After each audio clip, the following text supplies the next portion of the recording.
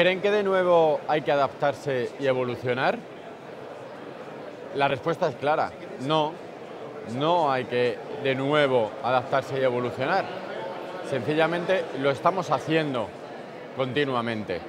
Por eso eh, lleva tanta eh, bagaje en esa evolución y esa adaptación.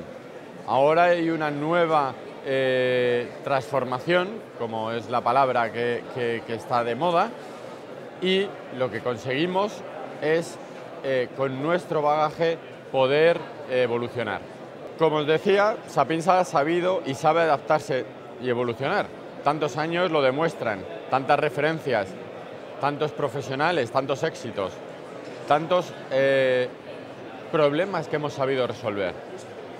Podríamos hablar de sistemas, tecnologías, experiencias concretas, pero solo queremos incidir en seguir facilitando los modelos de negocio.